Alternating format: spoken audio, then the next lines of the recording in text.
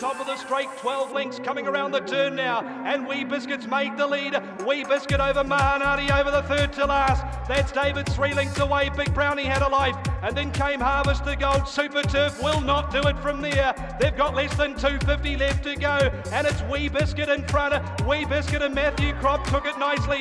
Mahanati, that's David. Big Brownie, name's Bon and Super Turf. Wee Biskit down to the 150 is in front by eight lengths. Totally has to get over this. Got over it nicely and is racing right away. Wee Biskit in the hands of Mathew Cropp is going to take out the Lone Star Petone. Cafe and Bar Wellington hurdles by eight lengths.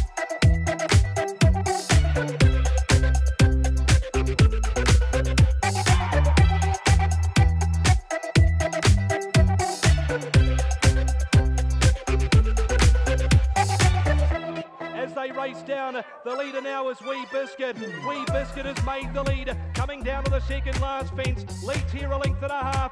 Comes to it. Over it nice enough. Just as she scrambled over it. As Tuda just got home. Mahanati looking to run on. Here comes the last fence at the 100 for Wee Biskit.